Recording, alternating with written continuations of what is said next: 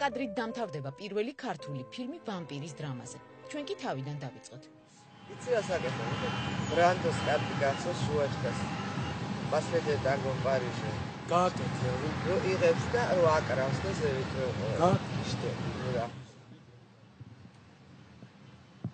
მარინა კახიანმა ეს სცენა მარლონ ბრანდოს მანერით ითამაშა. ოღონდ ოსკაროსანი ნათლი მამისგან განსხვავებით, არა ბერტოლუჩის, არამედ შოთა კალანდაძის ფილმში.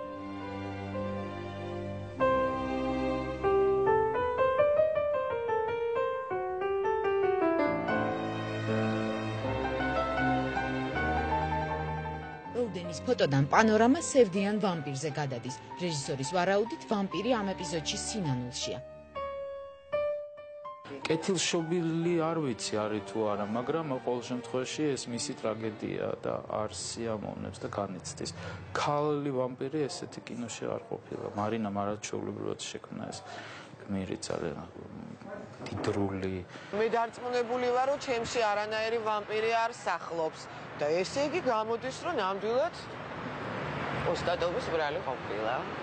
მარინა კახიანი მოყვარული რეჟისორის მესამე ფილმში მონაწილეობს. როგორც წინა შემთხვევებში, ის აქაც ყმაწვილი კაცების მაცდური და მკვლელია. შემაბა ნამდვილად ესე მოხდა. და რაღაცა მომთან არ მეცალა, უცხო რომ არ მცალი, მართლა არ მეცალა და რაღაცა პერიოდი ეს გაიწელა. საკმაოდ ჩვენი გადაღებების დაწყების პერიოდი სანამ დავიწყებდით, აი ნამდვილად შემაბა. პროფესიით მხატვარმა და გატაცებით რეჟისორმა შეაბა რეზო ესაძეც, ლიკა ქავჯარაძეც, ზურაბ ნიჟარაძეც, ლექსო თორაძეც და კიდევ ძალიან ბევრი ცნობილი ადამიანი. ერთ-ერთმა მისი ფილმების ჟანრიც განსაზღვრა. პოეტური ფოტოკინო. შენ მოიგონე ეს? არა, იცი რა, სოფიკო ჭიაურელი რო დავითანხმეთ ჩემ ფილმზე, უშვილო არის ესეთი პატარა ნოველა ვარ ჩვენ, ნუცა შენ შეშულ თამაშობს.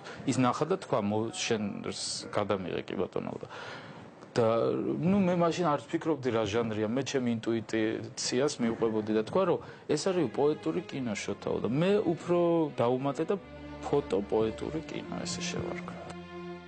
პოეტურ ფოტოკინოში პოეზია არ არის, არასოდეს არის ტექსტი და ყოველთვის არის მუსიკა.